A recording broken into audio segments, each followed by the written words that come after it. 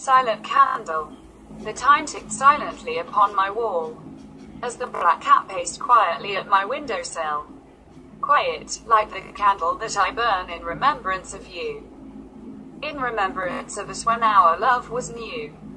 But now the seams of our love were worn and torn like the curtains that were never changed.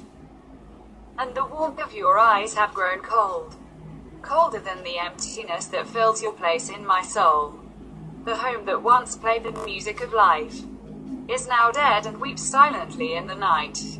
Within the songs that we shared, I can hear your breath and feel your touch, soothing like watching the candle that burns next to your portrait.